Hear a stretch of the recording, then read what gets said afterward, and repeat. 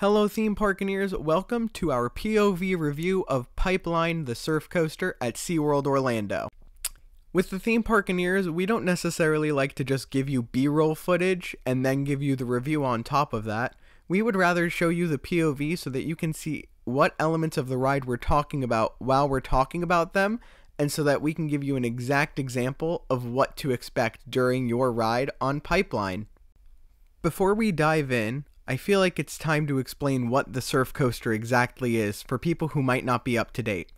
The surf coaster is Bolliger and Mabillard or B&M's most recent model that features a new generation stand-up train that allows riders to shift 2 inches above and 2 inches below the locking position to give a much more comfortable ride than traditional stand-up coasters. This motion also allows riders to jump with the airtime and hang time moments of the ride which is what we're going to be talking about here with this POV review.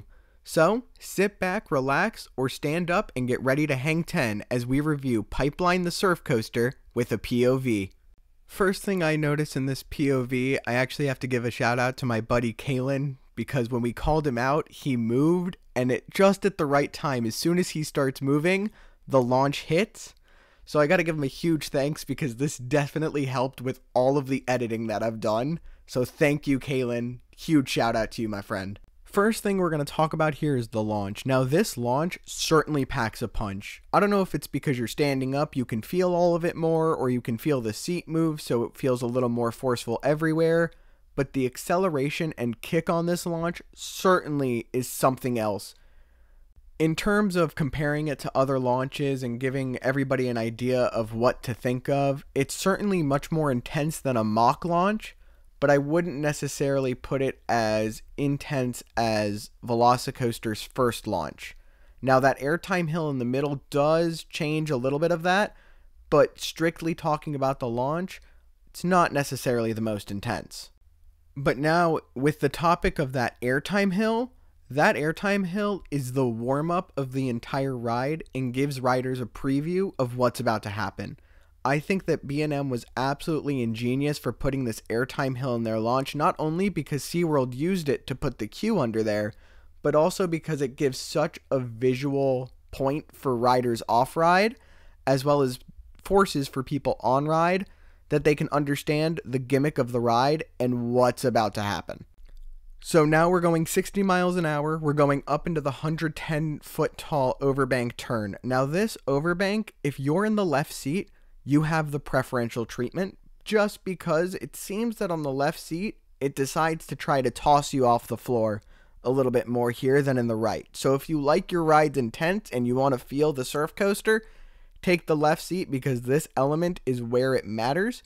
If you don't really want to be off the floor and you kind of like your feet on the ground where they kind of belong, um, definitely take the right seat because this is one place where the ride tries to play with you and there are no elements for the right side that really feel this as much as the left. So it certainly provides a very good experience to start the ride off if you're in that left seat. So you come off of that overbank and then you're immediately welcomed by this giant airtime hill. And off ride, this is such a great spectacle. You're able to take great pictures of the ride, and on ride, you get to see the rest of the track. It's just a beautifully placed element in this ride. Now, this is also where you get to choose how you want your experience on Pipeline to be. If you stand there and let the ride take you through its course and you ride the waves, you're going to get a nice floater airtime moment. The ride's going to gently pick you up and put you back down, and you're going to experience being off the floor in a gentle manner. But if you bend down a little bit and you jump, you're going to get ejector airtime through this entire element, and it's going to change your perception on what a stand up coaster can be and it's going to really hype you up for the future surf coasters like it did for me.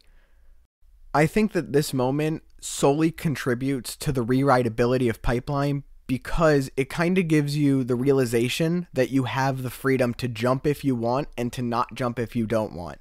So you ride it once, you don't jump, you ride it again and you jump, and you get to just feel the difference in the experience from jumping and not jumping because it's such a drastic difference. So, coming off of that airtime hill, you're immediately welcomed by a nice little water effect. Just to let you know, the water effect, like on Manta, if you're in the right spot, you're going to get wet. But here, it certainly adds to that surfing feel, just like on Manta, how it adds to that nice riding through the waves feel. So, credit for SeaWorld for making three water coasters in their park, especially with Pipeline, the surf coaster, letting you actually surf with the waves. Leaving that splashdown, you go into the ride's one inversion, the Wave Curl. Now, this Wave Curl rides kind of like a corkscrew, kind of like a zero G roll. It's got that nice circular motion of a corkscrew, but the whip at the top gives it a nice zero G roll feel. And I wasn't expecting the hang time that you got on this element, especially with how the surf coaster was. But hang time on a surf coaster, you just got to go out and try it. And if you jump and you have the ability to jump at that section of the ride, you're going to feel like a salt and pepper shaker, and the hang time will be absolutely unreal. So you leave that wave curl and you go into this airtime moment that we're showing right now. You pass through a set of trim brakes, which don't noticeably slow down the train, and your picture's taken up to the left. Now, this airtime moment is where the right side of the train gets that preferential treatment on the overbank, we were talking about how the left side of the train got that preferential treatment as they were out of their seats at 110 feet in the air. So here, it's really nice that the right side of the train also gets that. Personally, I prefer the overbank preferential treatment on the left side over this section right here, but I'm really happy that B&M thought about that and decided to round out the ride experience as this gives it re-rideability between the left and the right side as well as jumping and not jumping. So this certainly kind of adds to that whole experience of pipeline. So from there, you're given two really nice turns with some positive forces that, you know, just kind of remind you that your feet do belong on the ground and affirm that statement with a nice and gentle reminder that, look, the ground is nice, you should enjoy it, you should be happy with it. And then it just lies to you with this airtime moment right here. Now, the reason I say it lies to you is because your feet were just on the ground and you just got used to all of those positive forces that you were feeling. And from there, while your seat is in its lowest position, you're given this airtime moment where it immediately goes from its lowest position to its highest position and then back to its lowest position in a quick succession, giving it a really nice airtime moment. Now, this will also depend on if you jump or don't jump as to how intense it will be but regardless of either way you do it, you are absolutely getting ejector on this hill. And it is probably one of my favorite moments on the ride just because every time I forget it's there and then boom, I'm out of my seat. So we begin to leave this moment with a nice little helix that goes over the station. It provides a really great view for the train that's leaving because it seems to line up most of the times that if you just stand there for a second, you can watch it go over and you know you're given a nice little turn you're given those affirmations and then the ride lies to you again.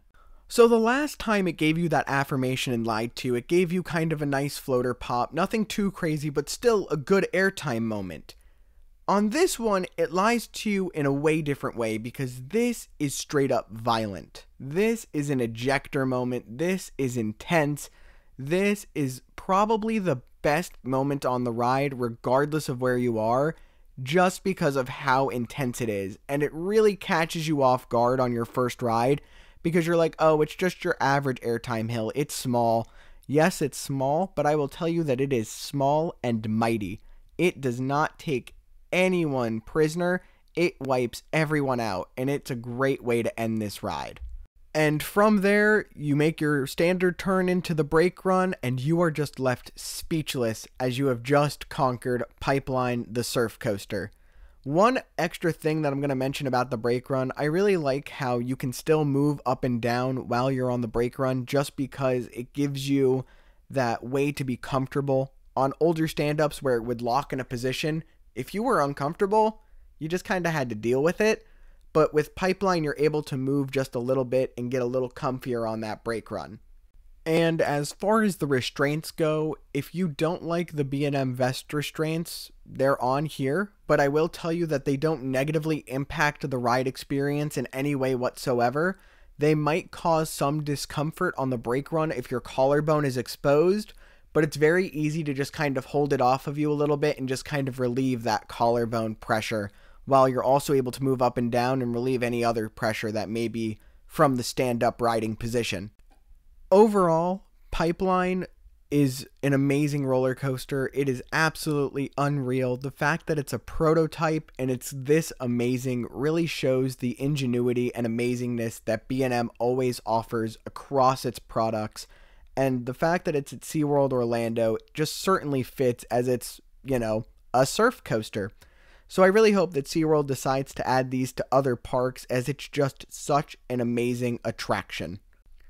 Now, with all of that said, and with all of the positives, there also come two small negatives. The first one is those restraints. I'm not the biggest fan of the vest restraints just because of how they hurt my collarbone, but on Pipeline, I will say that B&M did an amazing job at making sure that there's no discomfort until that brake run when they're just kind of on you. And the second thing is just the fact that there's something missing from Pipeline. And it's not extra length, even though the ride's only 48 seconds. It's not missing an extra airtime moment, but to me, I really think it's missing onboard audio. I think if after the launch you just had some speakers playing some extremely wicked guitar riff that would follow you through the ride and kind of go with the elements, this would elevate it from just a normal experience on a surf coaster, which is anything but normal, but I think it would just elevate it just a little above and make it the perfect ride.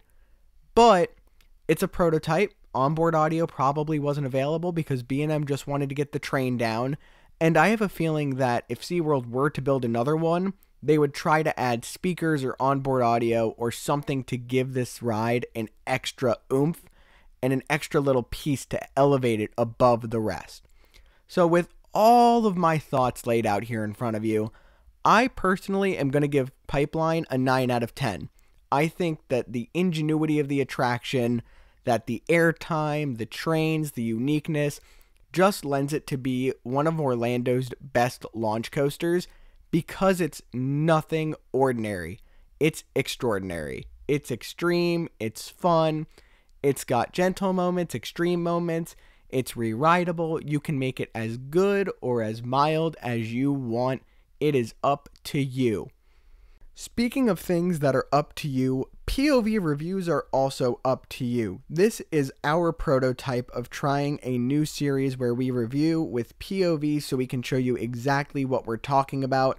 And we really enjoyed making this content we want to keep making it for you. So comment below with what coaster you want us to review next. If we've been on it, we'll review it. If we haven't, we're going to make ourselves go out there and ride it so that we can do it for you. So, if you want to like this and influence us to keep going with POV reviews, leave a like. If you want to be here for more POVs and POV reviews, subscribe and hit the bell icon.